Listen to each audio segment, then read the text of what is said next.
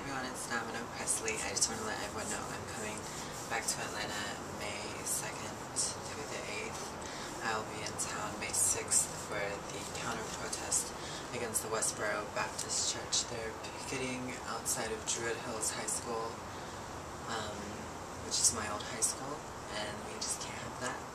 So if you want to come out and show your support, it's at 7 a.m. in front of Druid Hills High School off Haygood Drive.